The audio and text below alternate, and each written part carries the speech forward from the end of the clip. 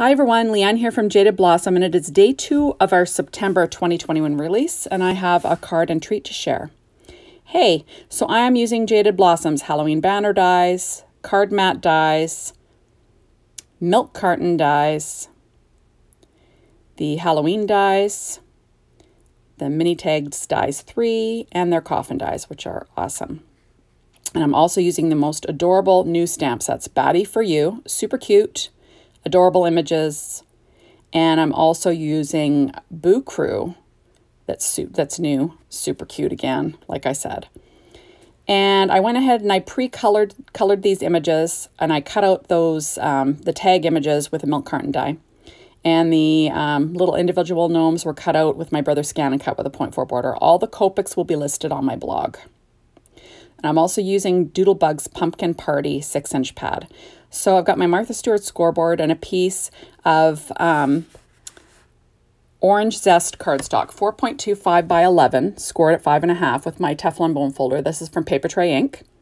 And I've got a piece of pattern paper from that pad um, cut out using my card mat dies. And I've just got my ATG gun here and I'm applying tape to the back. And I'm going to pop that down on the front of my card base making sure it's in the, opens in the right direction. There we are. So really cute stuff. There we go. Just going to make sure it's stuck down well. And I've got a piece, uh, I went ahead and I stamped the image um, or the sentiment onto Neenah Solar White 80 pound cardstock. All my images are stamped on that. And I went ahead and I cut out a strip of um, dot stripe 12 inch, um, what's it called? Mandarin dot cardstock, Mandarin dot stripe. And that's just an eighth of an inch wider than that largest mini tag dies, um, mini tag die that I cut out there just because I'm going to be doing some layering. Now the black coffin was cut out using the front layer of the coffin die out of uh, the 12 inch beetle black gingham linen.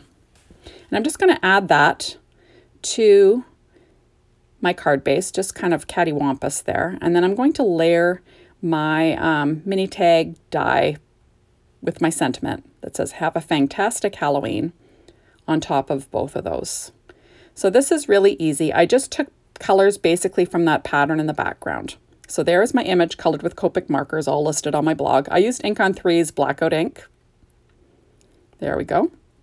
And now I'm going to pop this cute little guy up with, him, with some Stampin' Up! dimensionals, just, you know, to give him a little dimension, which is always great with these little images from Jaded Blossom. You gotta love these adorable gnomes.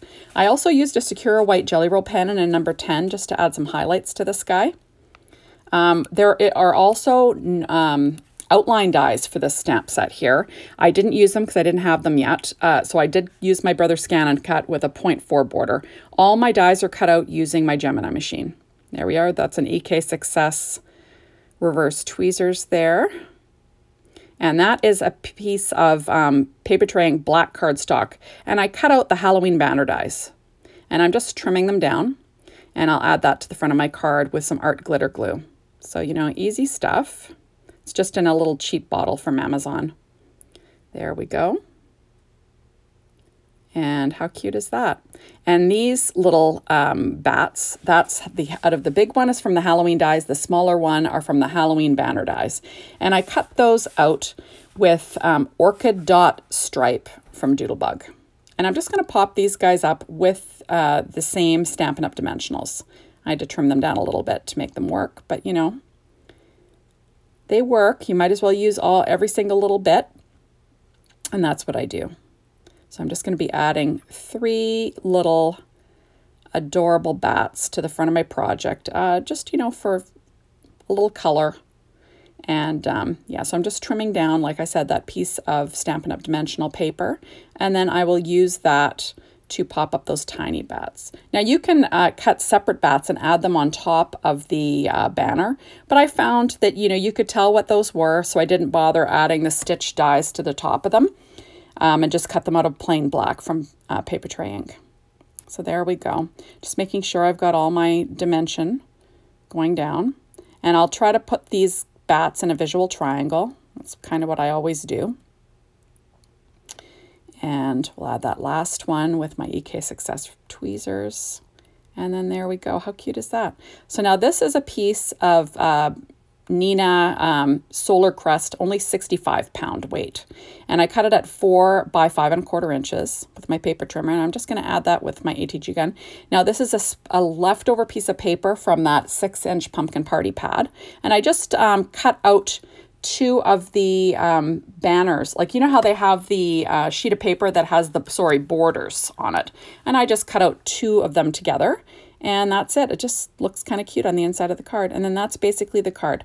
So now I'm going to go ahead and make the coffin treat for you. Now, this is a piece of Papertrey ink black cardstock. And what I like about their black cardstock is it's got a nice heavy weight.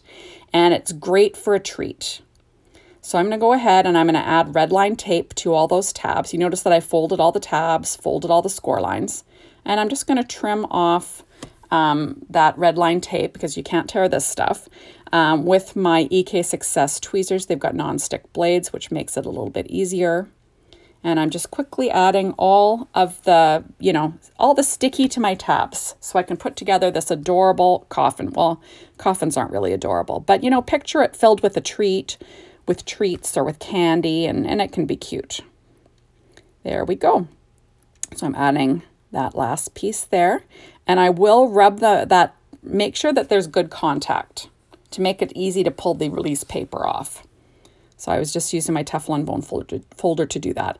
And what I do is I bend them in, and I want to get those corners as tight as I can. So you're going to want to have that red line tape right up against the score line. Now, not touching the score line, but as close as you can to it. And then that way it'll make your corners nice and tight. There we go. I'm just to put stick the rest of this together and oops, I forgot one. These things happen. So I'm to go ahead and add a little piece to that little tab. Now you can use glue, you're just to have to hold it. Um, but I find red line tape is awesome from when I'm making treats with these treat dies. So there is the bottom. And I cut out a piece of the layer, um, a layer of that same Mandarin dot cardstock from um, Doodlebug, the 12 inch. And I'm going to actually line the bottom. You don't have to do this, but if you use double-sided paper, you'd already have a, a different pattern on the inside. But I just thought it would look cute to add some pattern to the inside. So that's why I am doing that. And I'm just adding it. How cute is that? There we go, ready to fill with treats. Now I have a piece of orange zest cardstock, the same stuff that I made the card base with. paper Papertrey ink, nice and heavy weight. And I went ahead and, you know, added the red line tape before, you know, before filming.